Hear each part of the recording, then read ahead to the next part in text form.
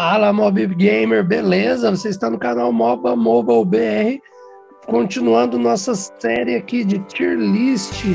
Quais são os melhores heróis para vocês jogarem em determinadas posições, em determinadas lanes.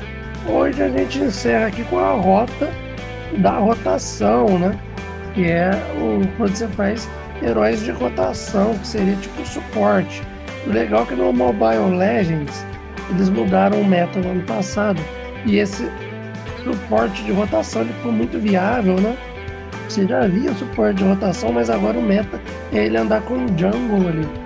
Então isso torna o jogo mais dinâmico, acaba sendo, na minha opinião, menos engessado do que o LoL, PC, né? E vários MOBAs mobile ali tentam copiar, tentam trazer uma dinâmica semelhante. Mas isso é só minha opinião, quero saber a sua, deixa aí nos comentários. Vamos colocar aqui quem seriam os melhores campeões para a rotação.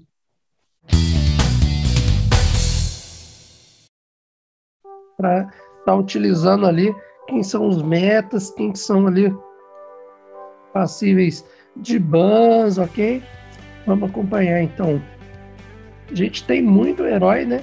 E você pode fazer tanto tanque quanto suporte de utility, suporte de cura, é, controle de grupo. Então eu vou passar aqui algumas dentre as várias opções que a gente tem. Uma delas é o Jawhead. Você vai conseguir subir de nível como suporte de rotação, né? Você vai subir aí para o Grande Mestre, vai subir do Grande Mestre para o Épico, do Épico para o Lenda, tranquilamente com o Jawhead. Você pode fazer ele jungle também, mas se já tiver um jungle, um assassino mais efetivo, faz o Jawhead e vai dar bom, cara. Principalmente se você quiser carregar jogo. Jawhead carrega muito jogo. E a gente vê muito no pique no Mundial, é comum ver a Kai, embora a Kai não seja um tanque, ele seja mais para suporte, na rotação ali ele vai funcionar bem. A gente não vê usando muito a Kai aqui no Brasil. O brasileiro não gosta de usar muito tanque, não gosta de usar muito suporte, né? Você acaba achando essas esses personagens tendo, achando que tem uma gameplay muito chata.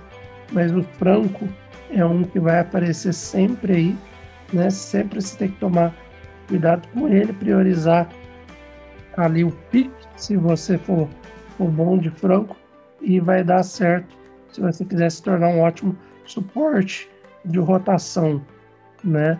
Uh, um que é bom de rotacionar também é o Hylos, eu gosto muito de usar ele na lane, mas ele funciona também como rotação, tá? Bem quebradinho. O Baxia, né? Como a gente trabalha aí com Wild Rift, Mobile Legends, Marvel Super War, é muito MOBA na cabeça, muito campeão. Eu não lembro se é a passiva do, do Baxia ou se é uma habilidade dele, porque já tem corta-cura embutido. Você não precisa buildar um corta-cura para ele. Já vem com corta-cura. Então ele acaba sendo uma opção muito viável, cara, para você fazer ele. As pessoas que jogam de Tigreal, é pouca gente que gosta de jogar de Tigreal por causa de ser uma gameplay mais chata, ele é tancudo e tal. Mas as pessoas que gostam de jogar, que jogam bem com ele, jogam fino do fino, acaba dando muito trabalho para a galera, né? Se você for pegar um suporte de cura para rotacionar bem, é a Rafaela principalmente se o jungle for ADC, ela vai dar movimento, ela vai dar cura e ela tem controle de grupo. É um suporte muito completinho, muito gostoso de jogar, né? Eu sempre vou indicar que o Estes, embora ele seja full cura, ele dá um, um, um suador no outro time. Principalmente se o outro time não manjar de fazer quarta cura, não focar nele, ele vai curando o tempo todo ali e fica insuportável. A Ângela vai ser um, um suporte muito bom para você rotacionar. Ela tem aquela habilidade de trepar em cima do cara ali e depois que você tá ali na lane ali, principalmente no X1, você recebe uma, uma trepada da Ângela, é inesquecível, cara. Você vai carregar a lane aí fácil, fácil. O Johnson é um que aparece muito no competitivo internacional, se você não souber fazer o Uber de Johnson, ele fica uma merda. Você tem que saber controlar ali o carrinho, o Hot Wheels. senão vai dar ruim, né? Mas se você souber, você põe todo mundo dentro do Uber e aí você vai, bate no cara, estuna o cara e sai aquela galera em cima para matar. Bellery, que a turma usa muito no competitivo internacional, usa ele bastante na lane também. Ele aí acaba sendo uma das opções bem viáveis no meta atual para você fazer de suporte e rotação. O Veus foi um recém-lançado, acho que quiseram colocar ele na rota do XP, mas eu achei que ele funciona melhor no suporte, acompanhado de mais um ali. O Uranus você vai conseguir aí ganhar muita partida de Uranus, ele é muito forte. O Cupra é um dos que mais tanca nesse jogo. O Gatótica tanca muito também. O Blue chegou novo aí, mas ele é muito bom de jogar. Eu acho ele melhor de suporte de rotação do que na lane. A Esmeralda tem que saber jogar com ela, mas se souber, ela converte muito defesa em dano e arrebenta os caras. Tem uma mobilidade boa, tem um escape bom. Cara que joga bem de Esmeralda, geralmente ele deixa o inimigo traumatizado. O inimigo passa a banir muito Esmeralda.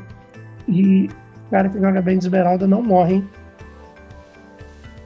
E a gente tem outros suportes ali, tem um controle de grupo legal e tal. Não seria uma opção melhor do que essas, na minha opinião, mas estão aí. E a Carmila, Denis vai bater em mim, ele gosta de jogar de Carmila, mas eu acho que ela estaria abaixo desses outros. Esses outros teria preferência ali. Aramis, muito esquecido, coitado. Não lança skin para ele, não lança nada para ele, mas ele tem uma ult roubadinha se o time inimigo não se ligar, não souber jogar contra, acaba dando uma vantagem. O touro que sofreu o rework, eu achei ele bem forte, mas não é um herói ali meta, você vai estar utilizando sempre para você passar de tier, subir de elo, né? A gente tem aqui a nossa elfinha querida que tem esse martelo imenso dela ali. Ela é tancuda e tal, mas a, ela vai acabar ficando aqui como uma das últimas opções, na minha opinião, a Lolita aqui, né? Você poderia colocar ainda outros itens aqui na tier list, né? Essa é a minha opinião, eu quero saber a sua, deixa aí nos comentários se você gostou desse vídeo. Dá um joinha, clica aí no gostei. Se você ainda não é inscrito, a maioria das visualizações do canal, a galera que visualiza, curte, não é inscrito no canal, se inscreve aí. Você vai estar ajudando a gente a chegar no mil inscritos, vai estar ajudando aí o canal a ser conhecido para mais pessoas e você ativando as notificações, que é o sininho do lado do inscrever, você vai estar também recebendo mais conteúdo como esse de Mobile Legends. A gente está trazendo aí muita coisa bacana. Tudo bem? Espero que tenha gostado. Forte abraço e até a próxima.